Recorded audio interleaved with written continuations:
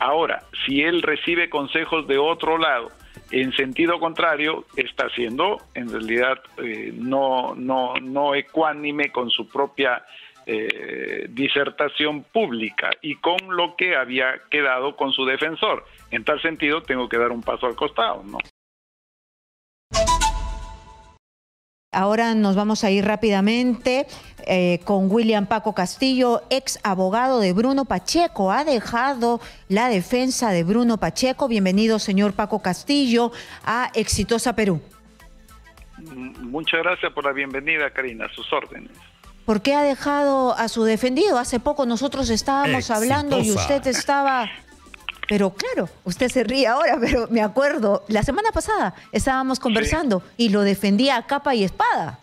Bueno, yo lo sigo, yo sigo defendiendo en realidad su, su no participación en los hechos que le incriminan a capa y a espada, como usted mismo lo dice. Pero todo tiene un eh, proceso dentro de la estrategia legal. En consecuencia, eh, queríamos eh, que el tema de la prisión preventiva, la incidencia, se resolviera y ver cómo se actuaba en la apelación. Eh, no hay peor forma de ayudar a quien no se quiere dejar ayudar.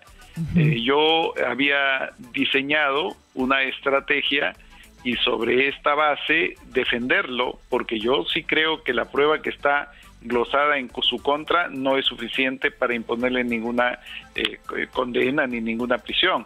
Pero él tiene que decir y que defenderse con las armas que él tiene que son más que suficientes para demostrar que no tiene ninguna participación. El gran tema es que dentro de esto pues tiene que decir o que colaborar con la justicia como él mismo lo ha dicho. Ahora, si él recibe consejos de otro lado en sentido contrario, está siendo en realidad eh, no, no, no ecuánime con su propia eh, disertación pública y con lo que había quedado con su defensor. En tal sentido, tengo que dar un paso al costado, ¿no? Entonces, para entenderlo bien, todo tiene su final porque usted elaboró una estrategia donde él se le prometió, se comprometió a colaborar y en los hechos no colaboró. No colaboró consigo mismo, Karina, ¿no? Porque él tiene suficiente prueba para descargar todas las imputaciones que se ciernen en su contra y no las quiere usar cuando debe usarlas. Este es el momento en la apelación, este es el momento de decir su verdad, este es el momento de decir lo que sabe y él saldría de su escondite inmediatamente y se reivindicaría ante la sociedad. Y no lo ha hecho, no lo quiere hacer, entonces, bueno, yo estoy de más en ese en esa consejería legal, ¿no? Muy bien, y las pruebas ya usted las vio, sabe que las tiene, las tiene escondidas, ¿por qué las tiene escondidas? Bueno, no sé si las tiene escondidas, pero yo las conozco, no puedo decirlas, tengo conocimiento de, de estas, pero bueno, esto ha sido exhibido o contado o disertado dentro de la consultoría legal, hay una ética, yo por si él no lo dice, yo no puedo Sí, claro, pero ¿por qué no las muestra? No, lo dice.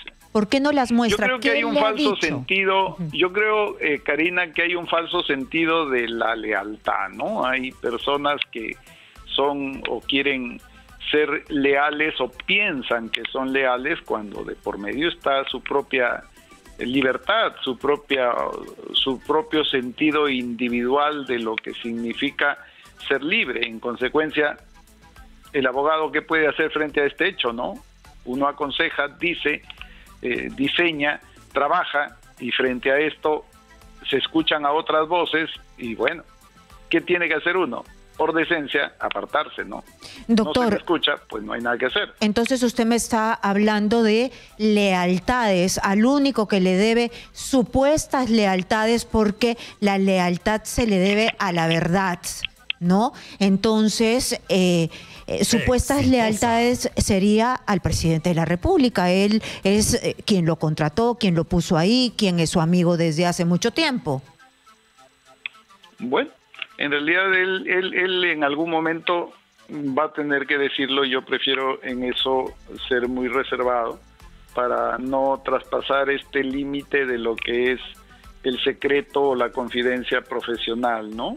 Yo le deseo lo mejor al señor Bruno, creo que él no tiene nada que ver en esta causa, creo que él podría estar libre si en realidad exhibiera y mostrara todo lo que sabe en su propio bien, en su propio beneficio. Pero Muy bien, pero además también ya comienza a desgastarse su palabra, porque se puede interpretar esto de que es un perseguido, de que eh, hay ambos bandos que comienzan a jaloneárselo, pero depende de él. depende de él salir de esta situación, de la clandestinidad. No lo jalonea nadie, sino que es su conciencia que quiere esconder la verdad él tenía una estrategia. Habíamos diseñado de alguna forma caminos para lograr en realidad el objetivo final que era su libertad. En el, eh, eh, en el decurso de esto, en estos días, pues él seguramente orientado, aconsejado por otros, ese es el problema cuando uno escucha a demasiadas personas, quien pregunta dónde ir tanto, resulta que no va a ninguna parte. Mm. Entonces, si se tiene un abogado, se confía en el abogado, a él en realidad hay que confiarle la estrategia y hay que seguir los lineamientos que se tiene en ese abogado. Ahora, si no se confía en él y se hace otra cosa, pues el abogado se retira y él tiene toda la libertad para escoger a quien le aconseje según lo que él crea, ¿no? Mejor. Pero desde mi punto de vista, creo yo, igual que usted, que la mejor lealtad uno la debe tener a la verdad. Muy bien, doctor. Muchísimas gracias por estar aquí en Exitosa Perú y vamos a seguir, bueno, viendo en qué decanta el tema de Bruno Pacheco que anda perdido por escuchar a todo el mundo.